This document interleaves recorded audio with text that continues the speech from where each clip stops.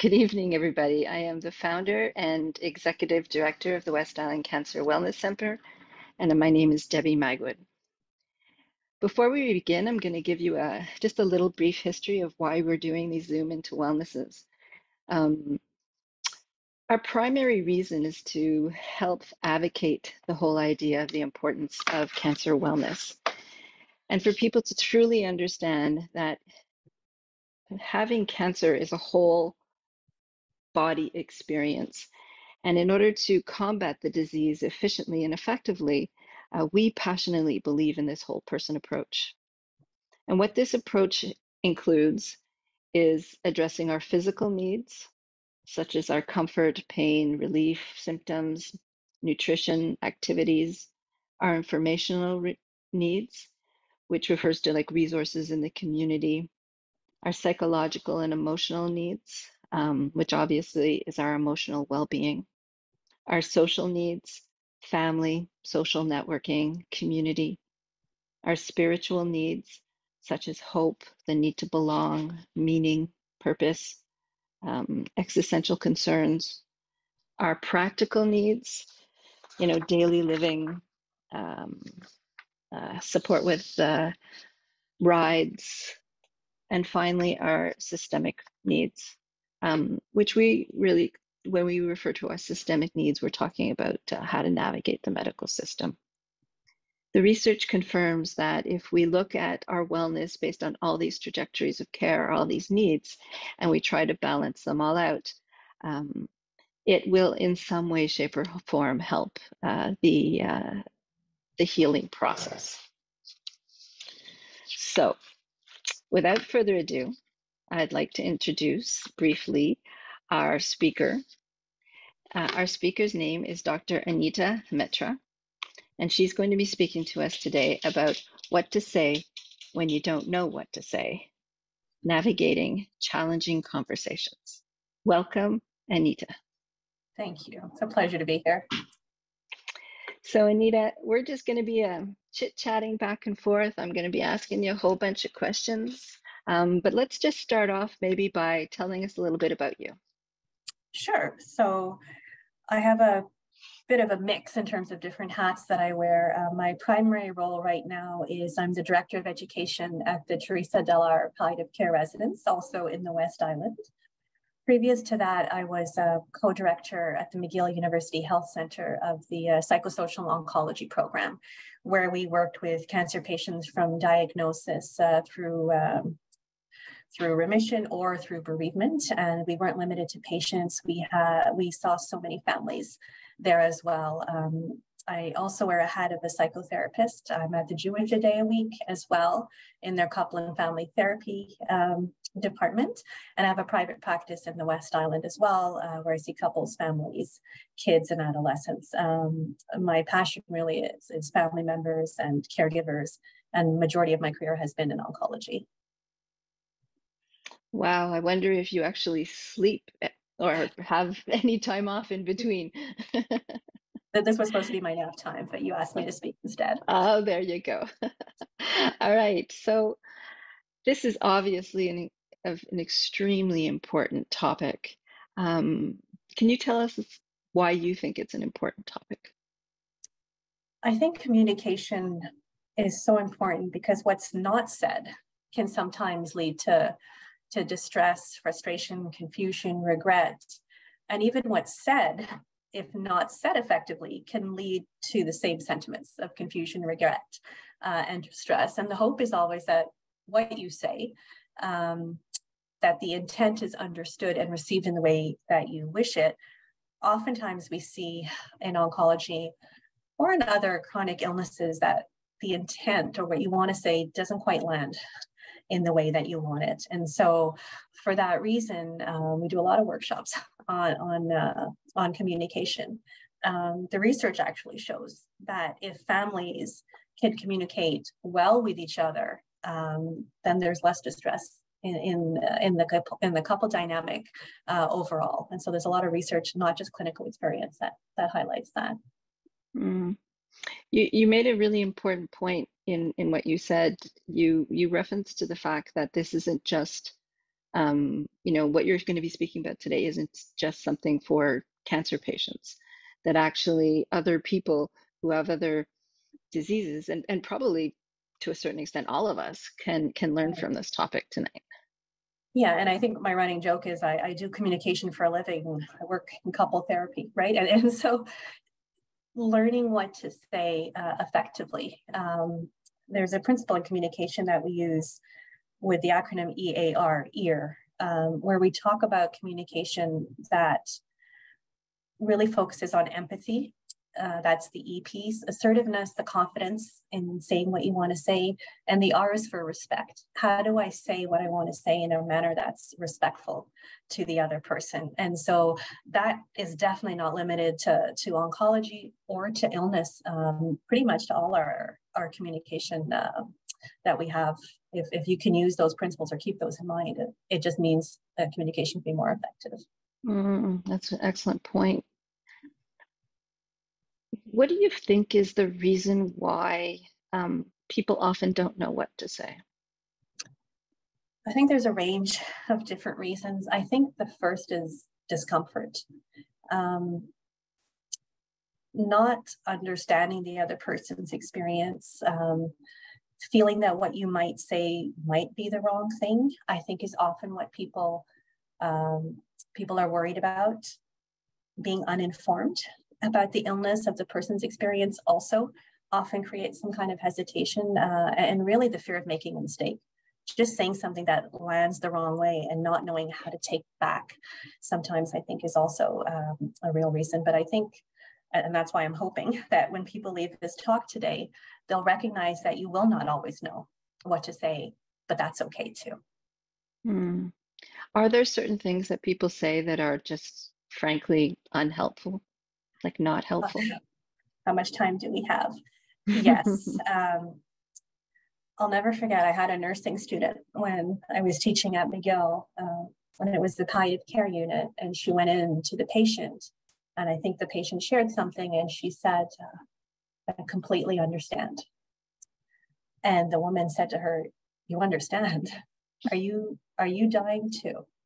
And the poor student left there in tears. But but I, I think the key piece or what is often the wrong thing to say is that you understand the experience of the other person. So things like I understand, uh, sharing your own experience.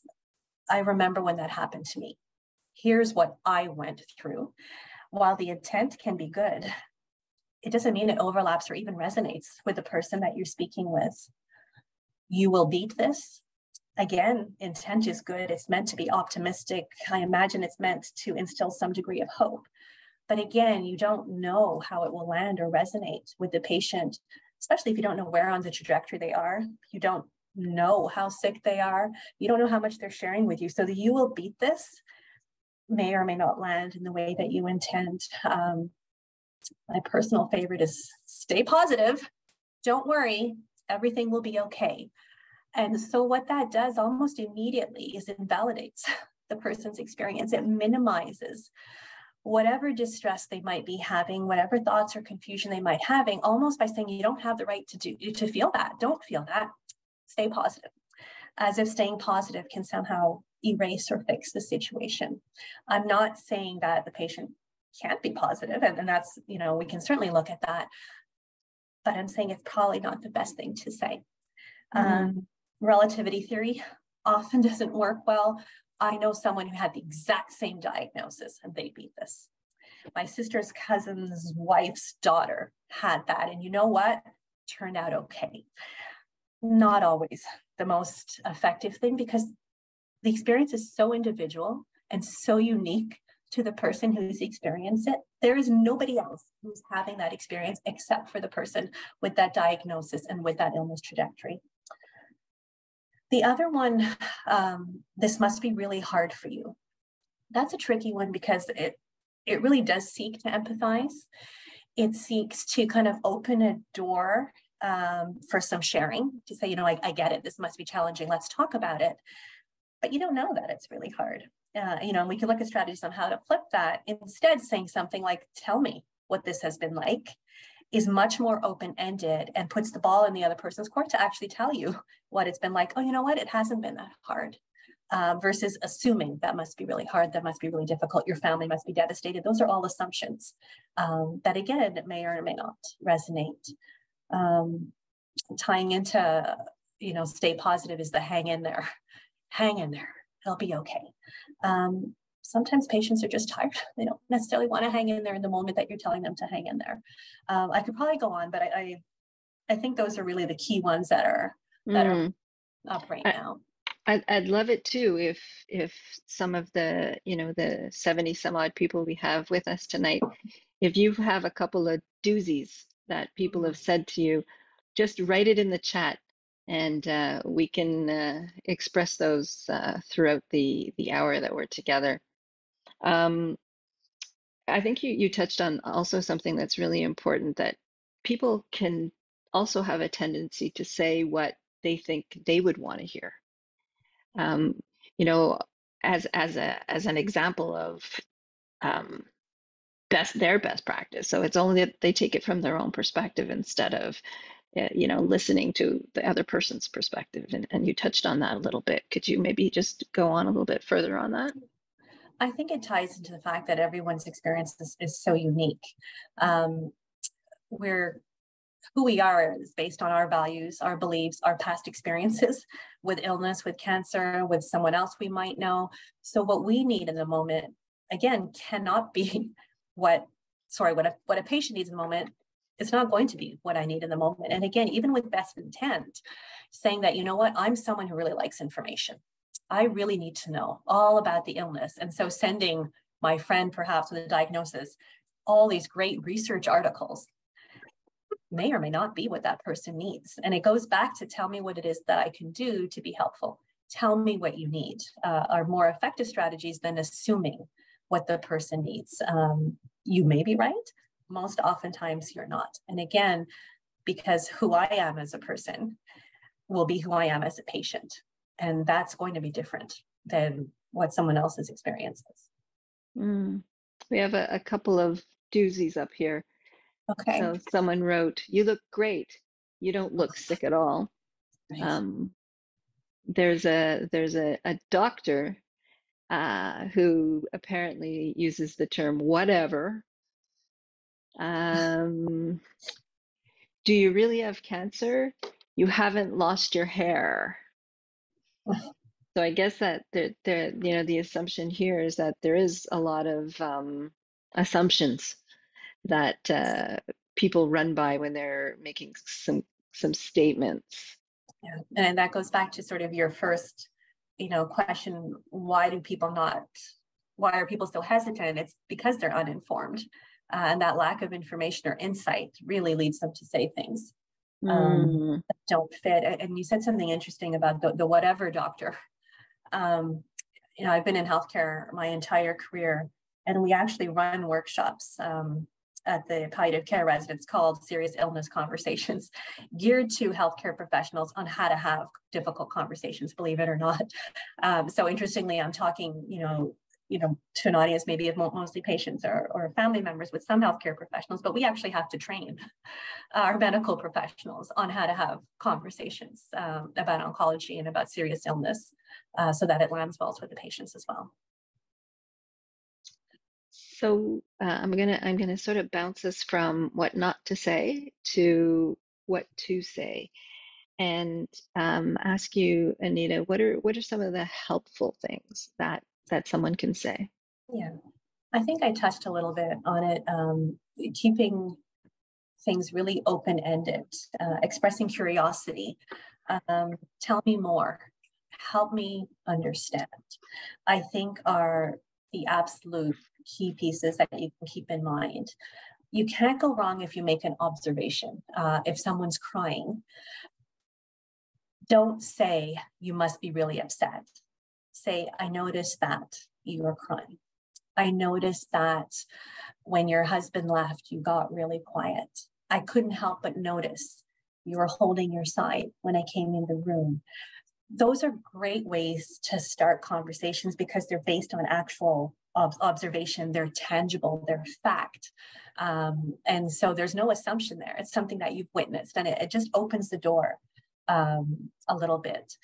Um, expressing your desire to be present. Um, let's take a moment. Is there something I can do for you in this moment that could be helpful? Sometimes silence, which makes the majority of us really uncomfortable, is actually a fantastic intervention. And it is absolutely okay to say, I don't know what to say. And people don't often get that.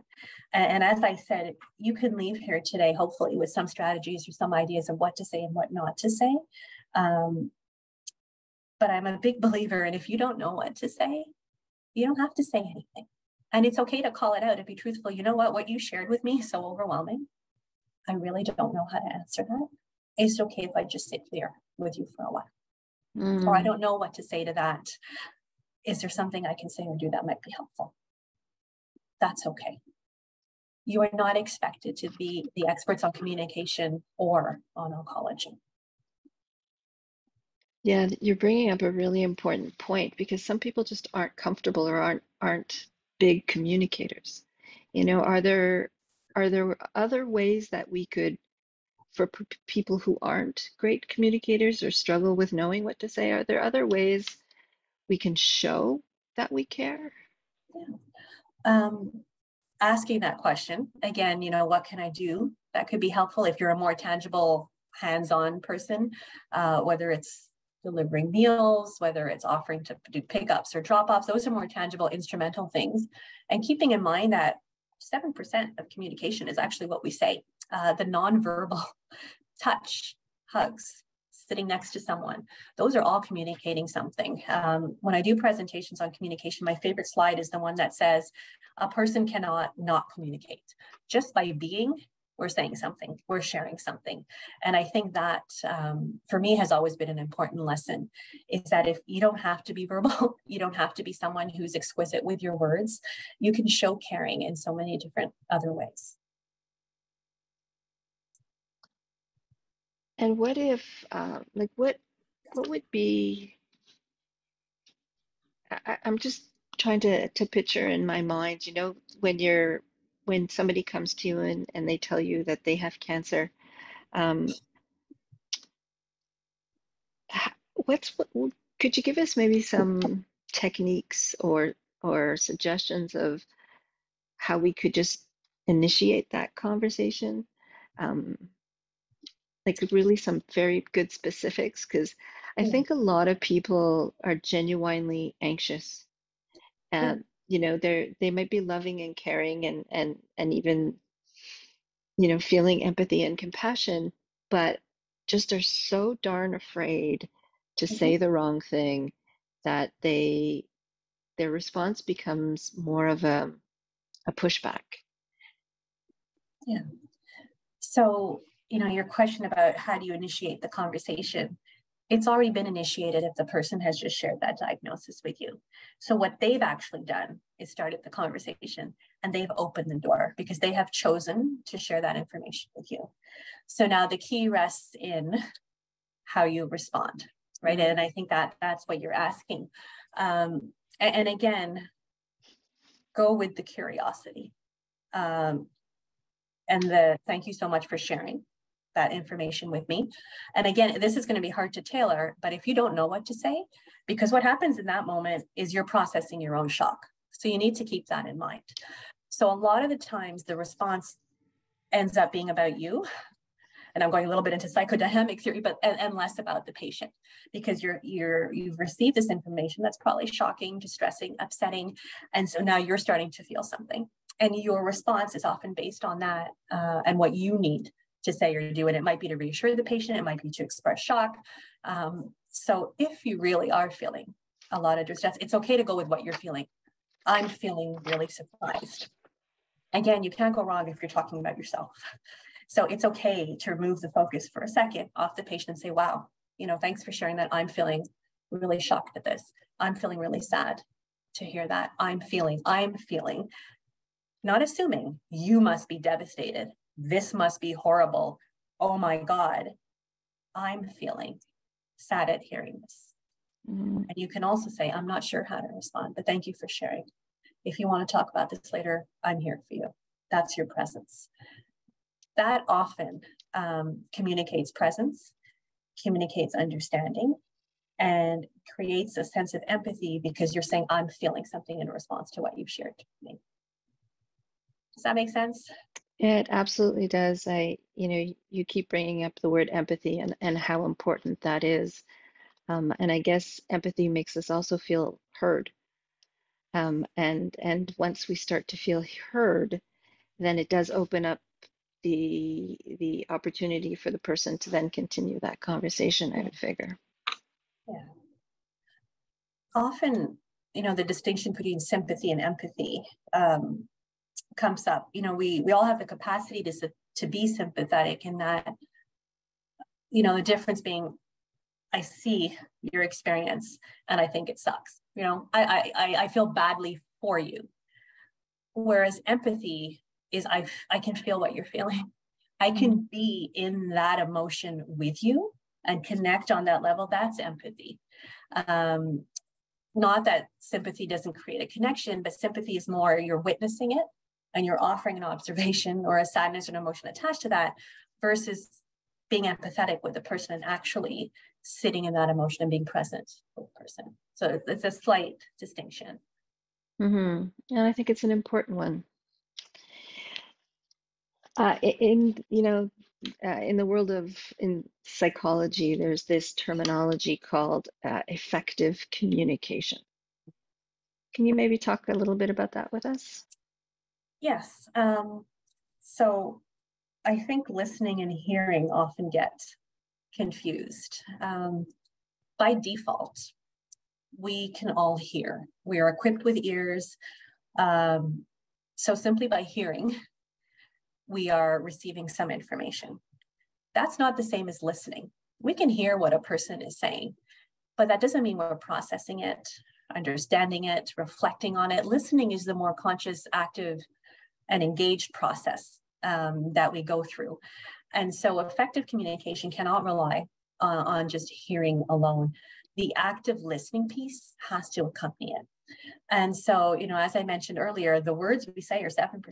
93% of communication is, is body language uh, and voice tone. So looking at the person, um, being completely focused, you know, you're not picking up your phone and checking and say, you know, tell me how your appointment was. Um, you're not multitasking. You're not checking your watch. You are in the moment. That is communicating so much. That leads to effective communication. Um, and people often don't realize just the slightest thing they do, a flicker of the eye away, sometimes indicates I'm I'm not present. Um, tricks to effective communication to show that you're in the moment. Often uh, things like validation and clarification. Uh, someone shares something with you. Am I understanding correctly that you're really worried? Um, it is a really good way of showing that you've heard what the person said and that you're giving it back to them um, and so they can validate and say yeah you know what? That's exactly how i'm feeling. Am i understanding correctly? And then they can kind of say yes oh no hang on a second you completely missed that.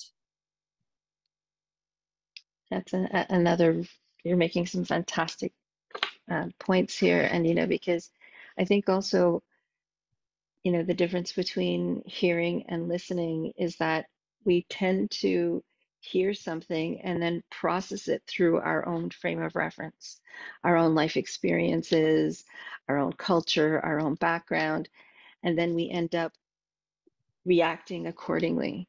And, and I think, as you were saying, that if you are aware of that and cognizant enough um, and, and effective enough as a communicator to just take that step back and ask the question instead of making the statement, um, it sounds like that would be a, a more effective way to communicate. And you just brought up a really important point, that of culture. Mm-hmm. Um, we cannot underestimate how important the cultural lens is uh, in having uh, any type of conversation um, with patients or with anyone in general, really. Uh, that's again tied to our identity. And we talked about that at the beginning how we filter things, how we understand and process things uh, is linked to our values, our beliefs, our past experience, and the culture and context that we're immersed in. Uh, so that's a really important piece. Um, you know, in working in oncology, seeing a range of different multicultural families, every family wants something different. You've got their cultural context that might be related to ethnicity or background, and then you've got the family context. There's a culture in every family as well. Um, so that's an important piece as well. Some people want to talk and they will continue to talk. Others really, privacy is more valued. Things are kept a secret. Please don't ask me about my diagnosis. And if you do, I'm going to tell you that I'm feeling fine because I'm supposed to tell you that I'm feeling fine. And so that aspect is really important as well. So mm. don't underestimate uh, the cultural context or component. I'd like us to, to, to continue on that topic a little bit more as well. Um, specifically the point where you speak of, uh, you know, people culturally responding the way they're supposed to. Um, sometimes that's just also the way they've been um, brought up. They're more uh, less open to express what they're truly experiencing, uh, which I would figure would make the conversation a little bit more difficult. Um, how could we get around that? So I think there's two parts to that. Um, the first is do we need to get around that? Mm. If someone doesn't want to talk or share, is that okay? I think so.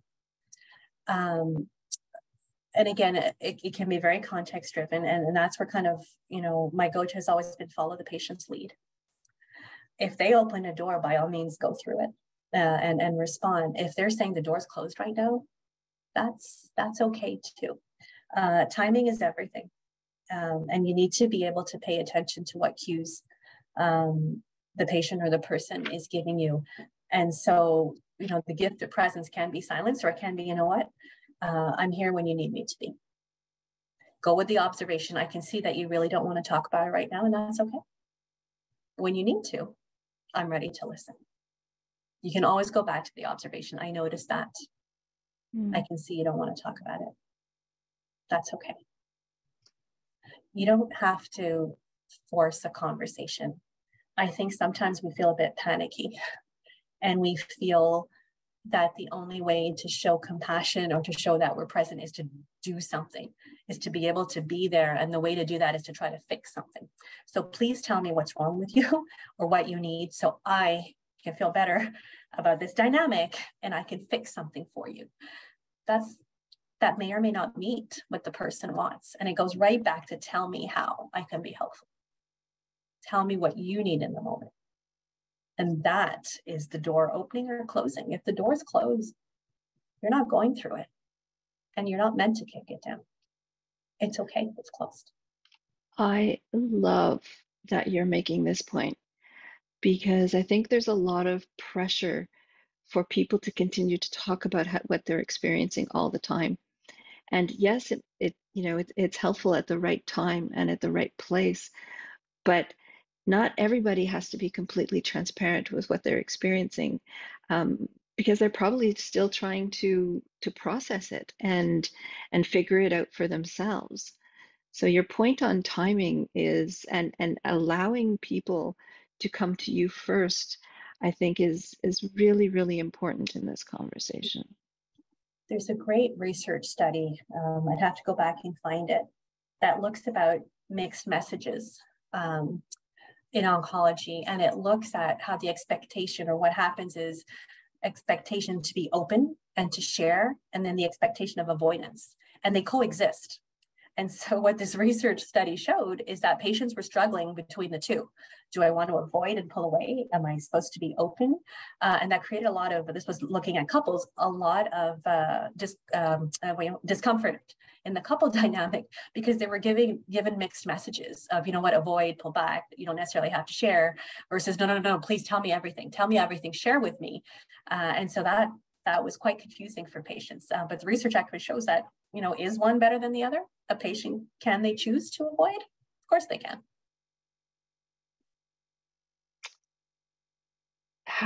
Maybe we need to talk a little bit more about um, people's discomfort because there might be a, a thin line between uh, the, the the person who's going through something interpreting uh, uh, interpreting the behavior as avoidant behavior as I just don't want to talk about this and what you're going through is not important versus uh, the person just feeling really uncomfortable having the conversation.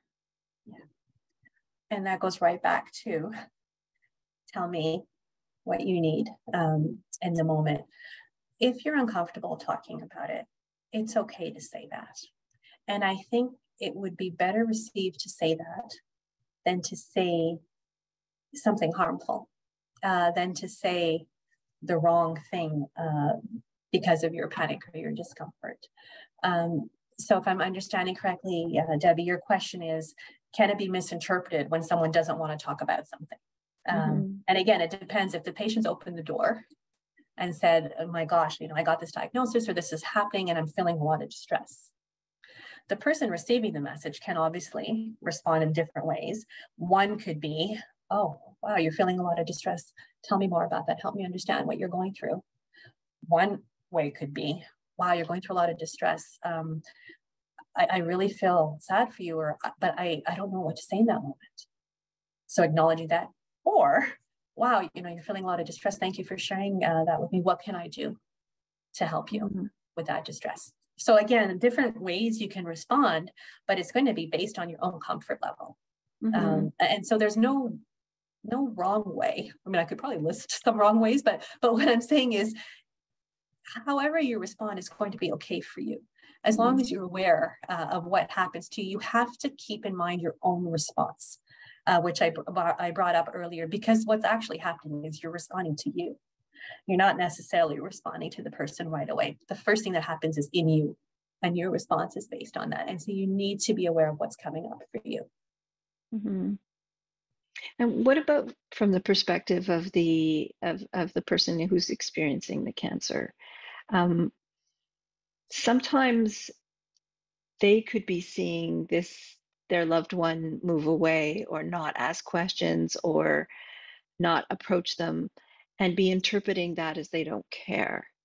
Uh, how could the actual person who's experiencing cancer maybe help their friends and family to be open to them and have that conversation with them? Yeah, it's opening the door. Uh, it's saying, you know, I'm feeling this. Can we talk about it? Or I'd really like to share this with you.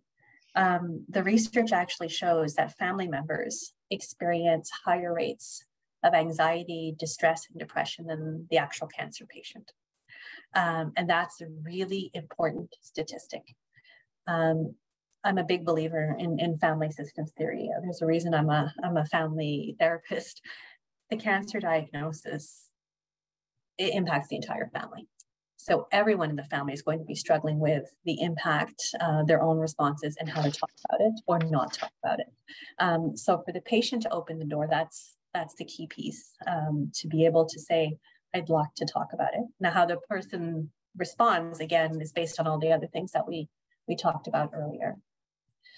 The other thing that I, that I want to mention, um, and I'm a big believer, obviously, in therapy, but in, you know, if there's an infirmary people, but if there's a healthcare team around the diagnosis, is to ask those questions. I would often hear in psychosocial oncology, I don't know how to bring this up with him. I'm afraid of hurting his feelings. I'm afraid she'll think that I feel that I'm a burden. And so there are all these things um, that you don't want to share or you don't know how to. And, and sometimes it's not a bad idea to look for support externally. And, you know, I started off by saying when you asked me, why do I think communication is so important? Because what's unsaid can lead to distress, regret, confusion. Um, and, and that's a key piece. So, how do I say the things that I can't say? Um, is, is an important aspect with these difficult conversations. And and how how do you say the things that you can't say? Yeah, good therapist. Um, no, well, I think first of all is timing and judging openness. Oftentimes, as you said, avoidance can be misinterpreted.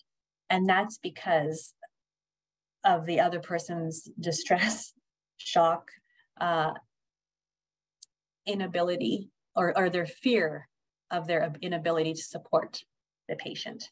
And so, how do you share that? It's saying what you actually feel. I feel this. It goes back to the I statements that I started. Not you never spend time with me, you never support me, you seem to be avoiding me. It's the I. I feel this when you, I feel scared. I feel, if you go with the emotion, um, that really opens up the door and allows the other person to respond to that. Now, I'm not saying the other person can, will necessarily respond in a favorable way. They may not know how to respond, and that's why we're having this this talk so that maybe they can have the skills to respond to the I feel statement. You know, thank you for sharing that with me. And then I don't know what to do with this, or how can I be helpful? Or they can walk through the door uh, and have a conversation with the person. Mm-hmm. I think also what might be happening is, uh, you know, if if the the the support person um, or the caregiver or the family member might be experiencing this uh, i need to be brave mm-hmm. you know or as you as you touched on a little bit earlier which i would love us to talk a little bit more on you know um, i'm just going to be happy i'm just going to i'm just going to keep talking about you know how things are going to be okay and and that you need to be positive and and you can't let this negative toxicity and you know enter into your in, into you or you're going to get sicker. Um, and and kind of close that conversation. Uh, are there some hints that you can give us that can help us to to deal with that kind of reaction? Yeah um, so what you're saying is that the conversation is too difficult um, for the caregiver to engage in? Is that yes exactly. okay. exactly. Um, so there's uh, these three w's that we we talk about when we when we teach our, our course on difficult conversations and it's wish worry wonder. Um, and so this idea of you know i wish everything would be okay. I worry though that maybe you might get a little sicker. I wonder if we could talk about it for the patient, uh, maybe I should have clarified that to to say to a super positive family member who doesn't want to engage, uh, who's really on this everything's going to be okay bandwagon, and the patient is feeling like no, it's not, or I really need to tell you that I feel crappy, or I really need to tell you that I'm scared. Um, the wish, worry, wonder uh, is really a fantastic tool and effective again, you know, in, in different realms. But uh, I wish that I stayed as healthy, or I wish that I, you know, feel this good all the time. I worry though that things may change. I worry I may get a little bit sicker. I wonder if we could talk about if that happens. So, what you do is you keep the hope piece and the positive there. I wish. So, there's an aspect of the future. There's the worry piece. That's really important that you're inserting there as well. And the wonder is the curiosity or the question can we at least talk about it? And so, it kind of brings all these elements uh, in together um, and makes those difficult conversations um, a little bit easier we only have maybe five more minutes of, of our talking and then we'll shoot it over to questions. So if anybody has some short questions that you want to put into the chat, please put it into the chat uh, now and I'll try to get to them. Um, Anita, the one of the other questions I wanted to talk about was, um, can, maybe, can you maybe talk about how the conversation could get a little bit more difficult depending on the person's um, diagnosis or prognosis and how as a loving supportive family member um, can we be even show even more support? Even more support.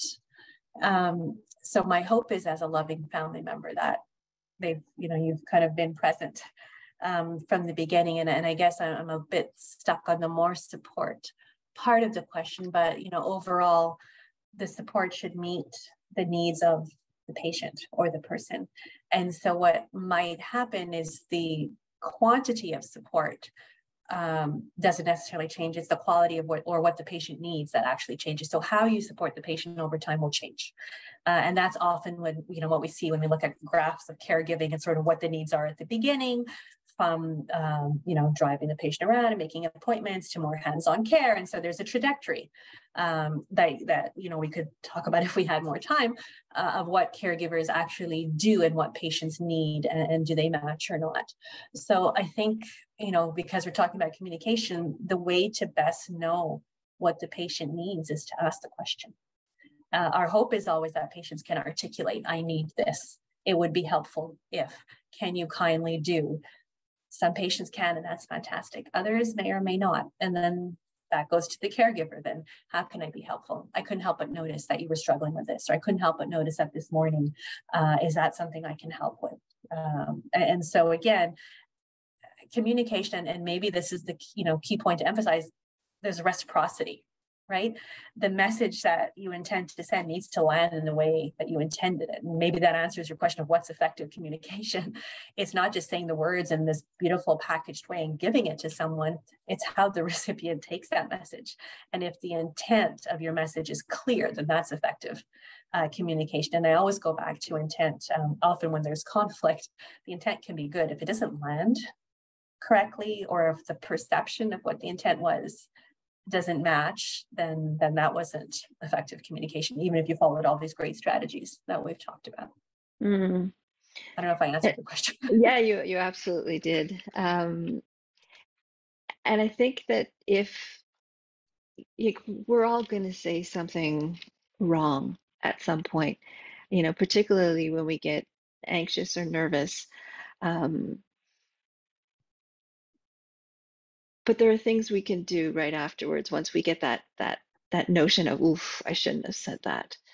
Uh, could you maybe talk a little bit on that? I think you just said it. Oof i shouldn't have said that. Mm-hmm. that that's okay. I'm sorry i didn't know what to say. Or i can see what i said upset you. I'm sorry. Again it's okay to be humble. There is no expectation that myself included we are experts uh, on communicating or that we know exactly what to say in a moment. And again, saying the wrong thing is often on you, it's based on your response. Mm-hmm. Uh, and so that's an important piece to keep in mind. And so I think being humble and saying, I'm sorry, is fine. I didn't know what to say. Uh, or going again with the observation, I noticed that what I said upset you. I'm sorry, that was not my intent. It goes back to intent. My intent was, and then you can rephrase it. And you can even say, you know what, hang on, let me rephrase that. That's okay. That's, a, I think, a perfect way for us to, to end before we give a little summary. I'll look over and see some of the questions that we have that's come up. Uh, one question is, uh, if a friend is going for treatment, is it okay to phone them and ask them how things went? Or is that inappropriate? Depends on their relationship with the friend. And if they've been keeping in touch with you and saying, hey, I'm going for my appointment, then they've disclosed the information to you, then yes, then you have that kind of dynamic to be able to say, hey, uh, you mentioned you were going for your appointment. I'm just checking in. I'm just checking in is different than how was the appointment. Uh, and, and again, it's a fine distinction because you're not asking for details. Now, there's so many other factors that are involved, you know, the relationship with the person, how much you're already sharing if you keep it general enough, it gives them the power or the control to choose how much they want to share. If you say, How was the appointment? Tell me about the appointment, then they're obliged. They, they will feel the pressure or the obligation. You may notice that if the appointment went crappy, they may not be answering you. And then you're thinking, Oh my God, should I have texted? I shouldn't have texted. Oh, it didn't go well. Right. So instead, you don't pose it as a question.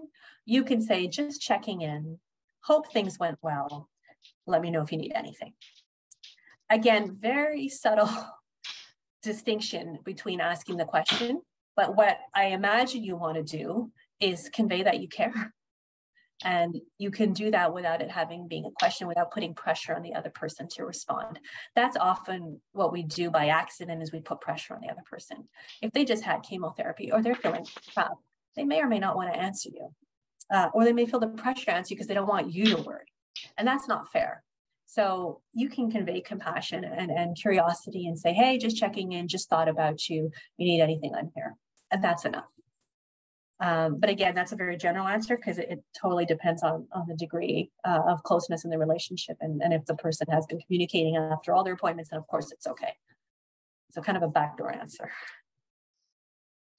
Okay, we have another question here. What do you do or say when the patient is always complaining about everything? That's a therapy session. Um, why do people complain? Okay, it's not interactive. I have to answer that one. Okay, so hang on. So why do people complain? Um, because they're distressed, because they want to be heard, they're unhappy, a need isn't being met. Uh, and that's a short list. Um, and so I imagine the questions being asked because it's frustrating to hear someone complaining all the time. Go to the validation piece or the observation piece. I can't help but notice that you seem to be quite upset about quite a lot of things.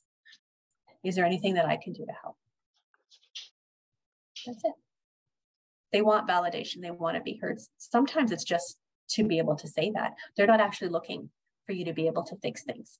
It becomes annoying or frustrating because I imagine there's this wondering of, am I supposed to fix this? Uh, is there something I'm supposed to do here with all this complaining? It may or may not be the case. But the complaining is about the patient. And let's not forget that that experience is tied to distress.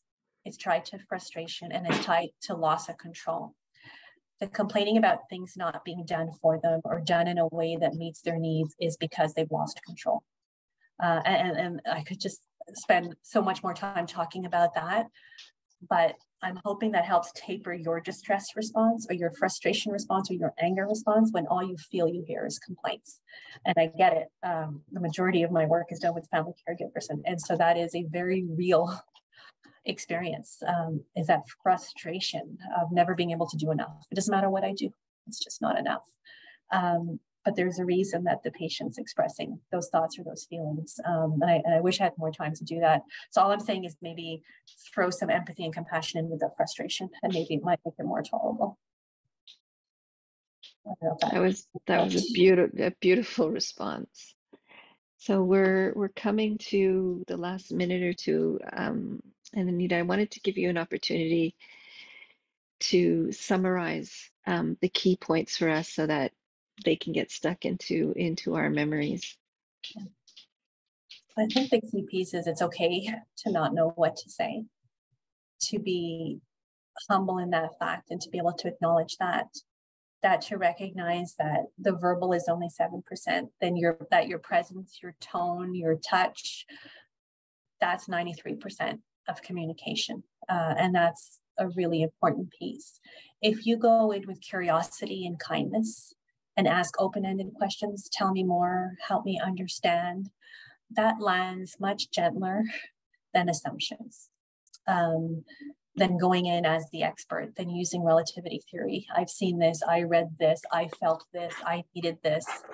Um, because then you take away that person's experience and you try to make it your own, even if the intent is good um, and never be afraid to say i'm sorry because we're all going to mess up and that's okay you're not leaving here experts on communication i'm sorry i'm not that good but i hope you're leaving here with some insight uh, into what might work uh, and and what definitely will not that's my summary so it's empathy validate notice express kindness curiosity yeah. and humility. Yeah, I think so. And, and ear, you know, um, empathy, assertiveness, and respect. I mean, you could probably Google that. There's research on that. Those are key elements of communication.